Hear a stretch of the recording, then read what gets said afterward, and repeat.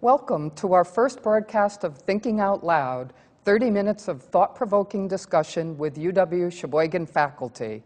I'm Jackie Joseph Silverstein, the host of today's show and the Dean of UW Sheboygan. Thinking Out Loud will provide you with the opportunity to get to know some of our faculty who not only share their knowledge and passion for their fields with our students, but who are always generating new ways of looking at and thinking about the themes that run through their fields. During this series, they'll share with you some of their ideas and their experience in a way that we hope will engage you and provide you with food for further thought. For our first broadcast, I'm happy to introduce Professor, Professor James Cabral, who many of you probably already know for his cool chemistry presentations that he does each year for young people in our local community. James is starting his fifth year at UW Sheboygan, where he works to make chemistry interesting and accessible to our students. By all accounts, he's a wizard at that. James received his PhD at the University of Minnesota, where he carried out research on the biosynthesis of a molecule that was thought to be an anti-tumor agent. Today, James is going to talk about the myths and meaning of being chemical free. I know you'll find his talk to be thought-provoking and informative. But James, welcome. Thank you very much. James, before we delve into the ideas and themes around your talk, I think our audience might like to hear a little bit more about you. How did you get into, into chemistry and interested in chemistry? It's an area that I know lots of students try to avoid. They're afraid of chemistry. I was always interested in math, but I was lucky enough to get, when I got to high school, that I had some very dynamic chemistry teachers. Uh, the first one was general science, and he was the one who introduced me to the periodic table, which I had some fun memorizing. A very nerdy thing for a ninth grader, but I enjoyed it. And then uh, my chemistry teacher, she was wonderful. Um, and she gave me the ability to sort of explore past uh, what we were doing from the book. Uh, and then I took another chemistry course with her the next year. So I really felt connected to the material. And again, once I got to college, I had a great teacher in organic chemistry, and that's how I chose organic chemistry as my focus all the way through graduate school. I see. Could you tell people what organic chemistry is? So this, this, will, this will be part of the talk a little bit later, but organic chemistry spe is specifically focused on molecules that contain uh, the element carbon. So anything that contains carbon is considered an organic molecule. Now I know that's a little bit different than the, how organic is used, but I'll get to that a little bit later. Okay, so why don't you get started? Well, certainly. Um, one of the most important things that I think as a teacher in the sciences is to connect the material that I'm talking about in my general chemistry and organic chemistry courses, the things that are happening outside of the classroom. And as we know, this is a very social media, internet-based culture these days. So I'm always on Facebook, I'm always on the internet, I'm doing Google searches, sometimes for leisure, sometimes for class. And one of the things that I'm always looking for is what is the kind of information that's out there that relates to the sciences and chemistry in particular. So one of the things that I found recently was a graphic that is titled 10 Tips on Becoming Chemical Free. Now, you have probably seen chemical-free products available on sale, TV commercials, internet commercials, internet advertisements. But what does that really mean to be chemical-free? Is it something that you can actually be, or is it a lifestyle choice, is it, is it a consumer choice? And I'll get into that in a little bit. So, 10 tips on becoming chemical free. I won't go through all of them, but I'll go through a few. Uh, buy clothing made of organic fibers or clothing not treated with formaldehyde or other toxic chemicals. Uh, throw that cologne and perfume out, you smell fine. So there's a little bit of humor in this. And then avoid petroleum products wherever possible. Um, and one of my favorites on this list is clean house with unscented natural cleaners. Baking soda works great. Now, what is a chemical? That's one of the most important things that gets back to this, uh, this term that we're using. A chemical is any substance that contains atoms connected through chemical bonds. So that's the technical term. That's what I teach my students every year. All chemicals are matter, and all matter makes, uh, makes up space. So if you can see it, touch it, smell it, taste it, It's a chemical. So, going back to chemical free, specifically the clean house with unscented natural cleaners, baking soda works great. Baking soda is a chemical. So, the idea of what this graphic is telling you is try to use as few chemicals as possible, but just by the nature of science, by the nature of world, by the nature of our universe, it is impossible to be chemical free. So, what does the chemical free terminology really mean? Well, let's talk a little bit more about chemicals. Regardless of the origin of the chemical, natural or synthetic, if it's isolated from a plant or it's synthesized in a lab and mass produced, it's still a chemical. The chemical makeup of vitamin C, when you, uh, if you isolate it from a leafy vegetable or you isolate it from the lab, chemical uh, vitamin C, it's the same chemical regardless of where you get it from. One of the problems with that is that isolation is not necessarily cost effective. If you get that material from a lab, sometimes it's a lot cheaper, and that's how we can get our drug, uh, uh, vitamin supplements. So, we're talking about everything that takes up space as a chemical. So that means that even if you're pouring water over your plants, you're still using a chemical. So what that ultimately means is that chemical free is a marketing device. Now, already talked about in the introduction the word organic, and I said that organic means carbon, carbon-based materials. We are organic organisms. Those, those, you know, if you think about organism and organic, it's from the same source. It basically means life. So we're talking about materials that traditionally have been incorporated into living organisms. That idea has been extended to all things that contain carbon. But if you look at a lot of products that are out in the market, if you go to your local farmers markets, you can see the word organic in a lot of places. So if you go to the uh, USDA website, you can get their definition. Organic is a labeling term that indicates that the food or other agricultural product has been produced through approved methods. These methods integrate cultural, biological, and mechanical practices that foster cycling of resources, promote ecological balance, and conserve biodiversity. Synthetic fertilizers, sewage sludge, irradiation, and genetic engineering may not be used. So again, it is a term. I would still consider it a marketing term, but has now been adopted by the USDA uh, in order to make a consistent labeling process. So there's other related terminologies that come in, into contact with organic, free range, cage-free, natural, grass-fed, pasture raised, and humane. And you can see how these all connect into, especially for us in Wisconsin, a lot of farming process, um, harvesting meats, milk, eggs, and related uh, consumer products. But I want to go back to one of those terms, and that's natural. Though there is some regulation by the USDA for the products that you may buy, specifically the ones that you can buy in stores, not necessarily so much the ones that you get at the local farmers markets, but natural is sort of a catch-all term. So if you think about going back to something I already mentioned, vitamin C, vitamin C is a natural chemical. Regardless of whether or not you get it from one source or the other, as I said, it is still considered a natural chemical because it exists in nature. Now, that is, does not mean that the vitamin C that you get in one material or another that you can buy is necessarily isolated from a natural source. The only way that you can determine that is to say, go to that uh, company's website and find out if they isolate it. They may not tell you, but they can still put natural on their labeling just because it is technically a natural product. So the idea is that companies will use this term to sell a product. They will use organic, they will use natural, and there isn't a lot of regulation. The USDA does regulate mass-produced materials that are presumed to be organic. But the USDA and the FDA have only limited resources for, that, for the research into these products. So they can do a little bit, but they can't do everything in, term, in terms of determining what is natural, what is organic. So you have to do a lot of that research on your own. And that brings up another issue websites, blogs. The internet as a whole is an amazing place. So much information that you have at your fingertips.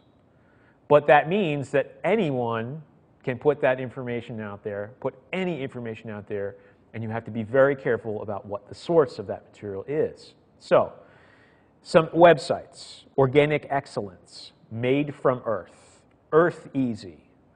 And again, they're using terms like organic and pure and holistic and natural. But a lot of these websites, if they're not selling a product, they're, they're, they're providing you information. There's no regulation about the information that you're giving you. So some of it could be used to sell, sell a product. Some of it may be based on anecdotal evidence, experience, but you still have to take it with a grain of salt. There's nothing to say that someone is lying to you about the information, lying to you about the results of some experiment they may have done or some experience they may have had with a product. And sometimes when we're talking about chemicals, it'll work in one situation and it won't work in another situation. So, there are other marketing devices that even the larger companies out there will use. And again, you have to be really on your guard. One that I always like to use in class is ISOactive. Uh, and I won't give the name of the toothpaste that uses it, but it's a toothpaste company that uses the phrase ISOactive, and they use it on the toothpaste tubes themselves. It sounds chemical, it sounds scientific, but it's not a thing. There's nothing out there that I know of based on my uh, research for ISOactive. It is just a marketing tool. Then you have supplements that will have names that are chemical sounding like Enzyte and Hydroxycut. And if you think about looking at that packaging, go to Enzyte. You will be able to see pictures, if you do a Google search for Enzyte, of a blue pill that looks like it's been put in packaging just like a pharmaceutical drug. And you really have no idea unless you look at the fine print and it says that this material is not FDA approved, it is not going to diagnose or treat any disease, it is just a supplement. And one of the very important things about supplements, and I could go for another half an hour about this, is that supplements generally are not regulated by the government. There are a couple of companies, private companies out there that do quality control on certain supplements, but usually those are related to vitamin supplements and not other diet related supplements, supplements that are supposed to treat erectile dysfunction, diet, uh, weight gain, things like that. So you have to be extremely careful when you're trying to get materials from the internet, um, from vitamin supplement sources, because you never know the quality of the material. You never know if there's going to be some material in there that you could have an adverse reaction to or something that's really overtly dangerous. Now, ultimately, it comes down to why do consumers purchase these products, purchase organic, natural products? Well, it's a culture now. It's the idea that a lot of synthetic, synthetic chemicals are bad for us, and that's very true. And one of the, uh, the examples these days is BPA. You'll see stickers for BPA free. It's an endocrine mimic, which means that it can mimic a lot of hormones like testosterone and estrogen and cause premature maturity. Uh, that has now been removed from a lot of plastic bottles, although it's still out there in the lining of aluminum cans and a lot of other uses. But what these companies tend to take advantage of is an ignorance of science for the general public. People who want a quick fix, who just want to buy a product and use it, whether it's a, they're adding a chemical or they're taking out the chemicals and putting organic and natural, it's taking advantage of a consumer who is not going to be doing the research ahead of time. Again, going back to organic and natural, consumers want to avoid processed foods these days. So you're going to see no preservatives. You're going to see natural, organic. You're going to see that a lot, a lot more. And of course, if you have shopped for these products, you can see that there's going to be a price increase. So it's expensive to be organic. It's expensive to do natural. It's not necessarily a negative. There are a lot of preservatives and synthetic chemicals out there that we could avoid and should avoid. A little bit goes a long way in terms of dyes, and so you're not getting a lot of that material, but a lot of salt, a lot of sugar, a lot of you know, high fructose corn syrup. There's a lot of research pro and con. I'm not going to go into that today. But again, be knowledgeable about what you're buying. It's all about this push to lead a healthier lifestyle. And so some companies will provide you a great product at a little bit of extra price, and you can count on getting the kind of material that you want other companies will be out there selling you junk and putting a name on it just to make a profit. So, what can you do? Well, the internet is a great resource, for better or for worse. Don't take one person, one website, one blog's word as law. If you're looking up a specific product, go to multiple places, talk to multiple people, try a few products. Don't spend a lot of money before you find something that works for you. Look into the source of the product. If you're looking at local farm fed, um, grass fed beef, talk to the farmer who is raising that beef and see what, they, what their actual process is, how they're raising it, what they're feeding it. You get a better idea of what you're getting. And then if it's a process, if it's a boxed or bottled or canned product, what is the company doing? How are they processing it? Are they using no preservatives? Get an idea of what's on that ingredients list. Ingredients list, and this is one of the reasons why I became so interested in science that I didn't mention before, is I wanted to know what those compounds were. Looking at the cereal box and what was sodium nitrate, what was sodium benzoate, what does it do, what does it mean? And a lot of that information is out there. If you go to Wikipedia, a website that I use for uh, scientific information all the time, you can at very least get the basics, the numbers, the physical properties, what it's used for. And a lot of those wikis actually tell you the biological implications of some of those materials. But you can always go to the USDA website, the FDA website. You can always talk to at your local university, a professor of chemistry, a professor of biology, you can talk to a personal physician, you can talk to a dietitian. So there's a lot of resources out there for getting more information about what you're eating, what you're taking as a supplement. Or just general consumer products. We could go into shampoos and all the other hygiene products. You could go into cleaning products. But the idea is educate yourself. There's a lot of material out there. You can figure things out on your own as long as you don't take one person's word for it. Talk to multiple people, go to multiple websites, get as much information as you can before, and make an educated decision on your consumer choices. So, I could talk for a lot more about this, um, and maybe we will in future talks. Um, but one of the things that I encourage you to do uh, my email is on the University uh, of Wisconsin-Sheboygan website. I'm happy to answer questions. I am not an expert. Um, I'm very passionate about scientific literacy and scientific education. Um, so if I can point you in the right direction, at the very least, I'd be glad to do so. Thank you. Thanks, James. That was really interesting, and I think an overriding theme I'm hearing about here is something that's really near and dear to my heart, which is the importance of being scientifically literate. And there's another kind of literacy involved here too, and that's um, technological literacy as well. So to give a, exam, a few more examples of things that drive you crazy um, that we really could do a better job educating ourselves about so that we can make appropriate decisions for our own lives, how we live, the decisions we make when we go to the doctors, those kinds of things. Well, I, there's just an inundation these days of scientific or pseudo-scientific information along with technology. So, so not only do we have all of this coming at us, all of these products and more and more and more products, but now we have this technology coming along with it, the ability to get more and look up more. Um, but it's also about the quickness of getting that information because you can type in a Google search for a supplement and the first 10, 20, 50 websites will be for quick made websites made by that company to try to give you information that's fake.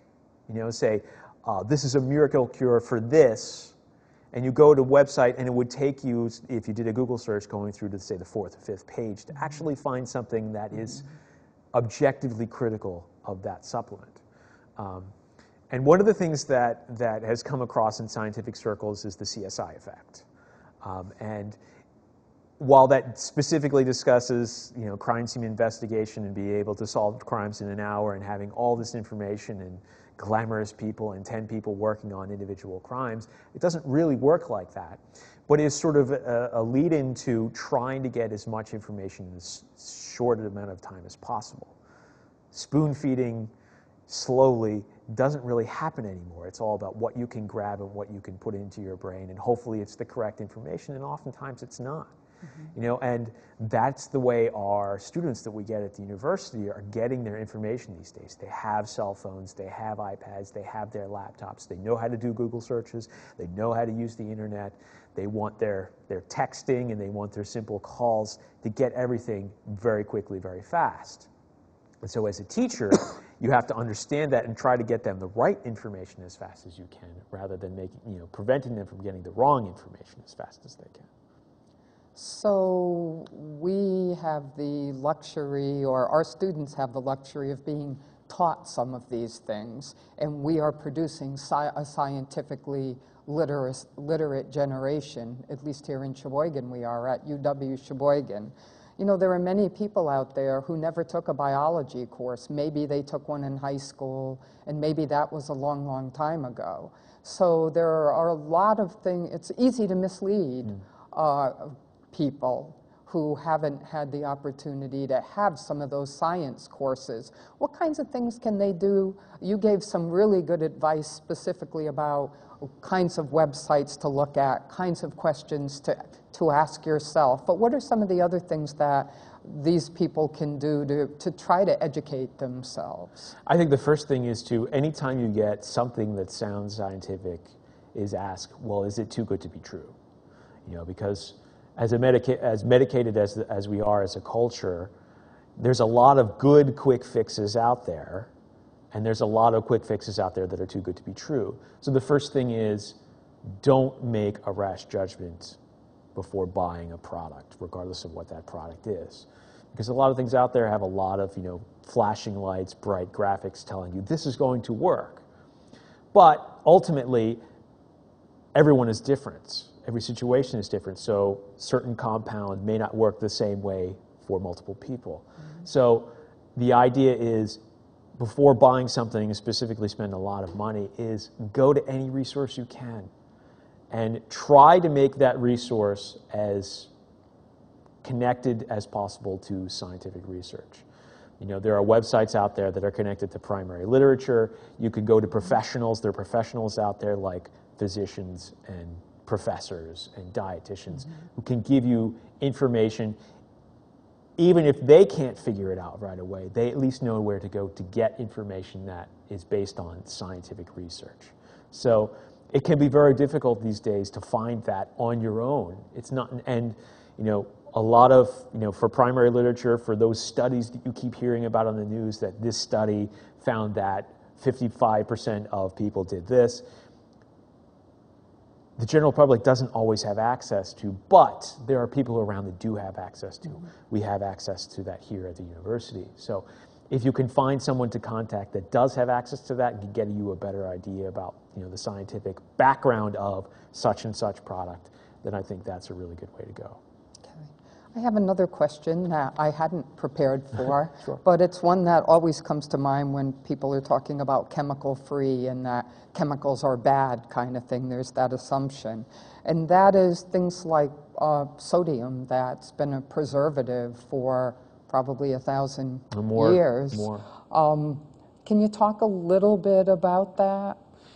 Well, that's not, it's not something that I've done a lot of research on, but there are chemicals out there that we sort of take for granted, and we don't view them as things that are dangerous because they have a lot of history behind them. And, and, you know, if you think about sodium, just regular old table salt, sodium chloride, it has been used as preservative, so it's sugar for a long period of time, and now we have this excess research. If you think about the connections now between excess sodium and high blood pressure, mm-hmm. if you think about, you know, excess sugar, um, you know, and the relationship of sugar to diabetes, you know, for, for the longest time in our history, we just use things without looking into the scientific background. And now we have the ability to do so. So it's not just that we had the desire to, but mm-hmm. you know, since, since the Renaissance, the, the, the ability to get knowledge has increased you know, almost exponentially. So we're constantly getting better instruments, we're constantly understanding more about our universe. So now there's a lot more interest in figuring out exactly what these chemicals do. You know, and now some of the things that were always thought of positively, now there's some negative to go along with mm-hmm. it. So mm-hmm. it's a balance. You know, it's, it's the phrase that, you know, you always hear everything in moderation. Um, I was just, something was posted on Facebook uh, about uh, processed meats and, so, and the, the compound sodium nitrite, you know, and a suggestion by some random blog saying you should completely avoid processed meats. Well, maybe you should. I, I'm not a dietitian, I'm not a biologist, but if you have a little bit, you're probably going to be okay. Uh, another thing we've heard about recently is the amount of mercury in fish. You know, considering that we live along Lake Michigan, uh, fishing has been a traditional part of, uh, of the area for a long time. Fish fries. There's going to be mercury in fish, but your body has the ability to process a certain amount of a lot of different kinds of chemicals. So as long as you don't have too much, your body can process it and excrete it without any problem to you. So um, scare tactics is another thing that you see out there of okay not too much salt not too much sugar too much caffeine not too much caffeine. And with with the media and research these days sometimes it goes back and forth and back and forth and you never know what to do. Uh, so i'm not a dietitian but the, what i typically follow is everything in moderation. I keep my coffee, coffee to two cups a day not get too much caffeine uh, and I don't eat too much fish or red meat. But you know, ultimately, it's you have to make your own choices, and you just have to try to make your educated choices as best you can. Mhm, And one glass of wine a day. Oh, sure, has to be red wine though. That's right, that's right. So we're, we're coming close to the end here, and I just wanted to ask one last question, kind of a fun question. We often think of chemists as that lone figure in a lab in their white lab coat, mixing chemicals, and when they make a great discovery, they're shouting eureka to themselves because there's nobody else there with them. Um, obviously, you don't fit that mode. Does anyone fit that mold these days? Is that what science is about, or how it works? Um, I think the, the, the people that you're describing, that's the you know, industry and, and academic research. You still see a lot of people, you see them on the news in labs making discoveries in those white coats. Um, but I think there should be, if there's not already, a push to being a little bit more dynamic because, mm-hmm. you know, with science being such a part of our culture, whether we'd like it to or not, you know, there really needs to be more dynamic educators, more dynamic scientists. Mm-hmm. And you see that. You see a lot of news media outlets having their science correspondents and they're, you know, starting to be mm-hmm. younger and a little bit more diverse. Uh, and then, of course, then you have things in popular culture like Big Bang Theory, which is one of my favorite Right. shows, where you know it's sort of glorified and it's sort of the you know the positive and negatives of actual more personality types. But I can tell you that uh, I knew some people in graduate school that were kind of like that, but. There's, there's an interest in science that goes along with that. You know, you see their nerdy side, you see the comic books, you see the science fiction, but you also see that they're using real instrumentation, that they're really interested in their science, and hopefully that will provide a sort of benefit to those who are interested in science and will get more of a push for scientific education Well, country. thanks, James. That's a great note to end on. I learned a lot today, and I really enjoyed your talk and our conversation, and I hope our audience did as well. I do too. It was my pleasure.